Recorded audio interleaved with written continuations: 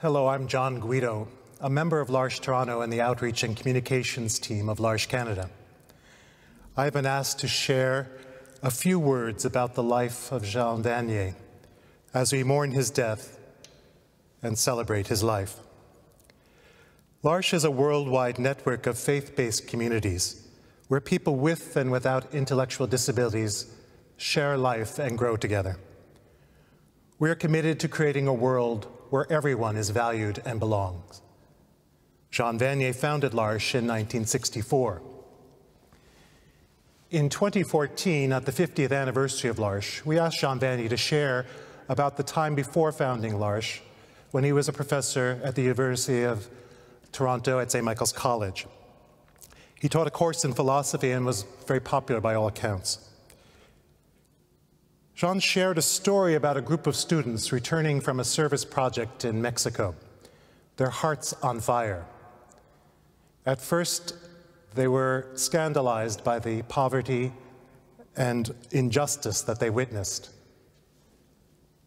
But then they discovered a community of incredible hospitality, deep faith, and great joy. Jean said, This is what I was seeking. His call was to leave behind a life of privilege. Retired naval officer, university professor, and son of the Governor General. And create community with some of the men he met in an institution for the mentally disabled in France. He was moved not only by their anguish and isolation, but by their deep desire for friendship.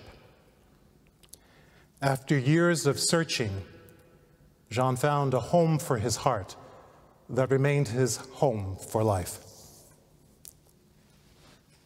In this simple life in community, Jean became a professor in the University of the Heart, sharing what he was discovering with his companions through interviews, his writings, and many public talks. Jean's words and the witness of his life in L'Arche touched the hearts and minds of countless people. So let us remember the life and work of Jean Vanier by being faithful to our own calling, to life and love.